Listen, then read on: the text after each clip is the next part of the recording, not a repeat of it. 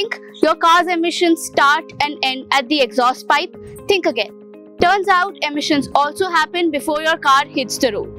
Today, CEEW explains how emissions from India's vehicle manufacturing could double or drop by 87% depending on the road we take. From steel and rubber to batteries and engines, every part leaves a carbon trail.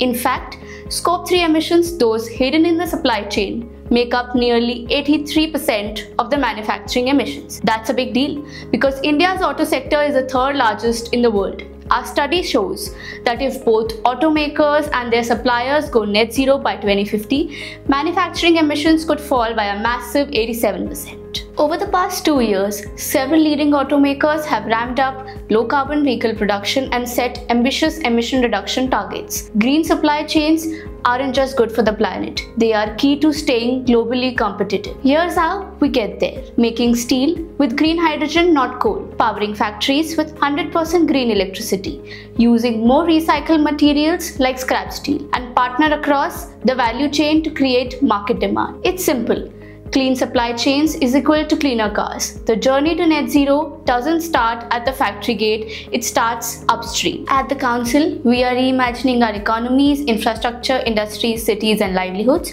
Follow us to learn more.